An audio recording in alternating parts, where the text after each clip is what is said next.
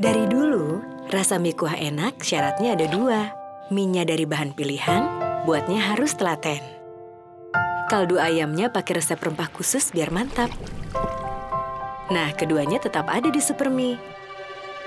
Baru Supermi Ayam Spesial dengan kaldu ayam lebih mantap, saus cabai spesial, dan bawang goreng untuk kelezatan khas Supermi.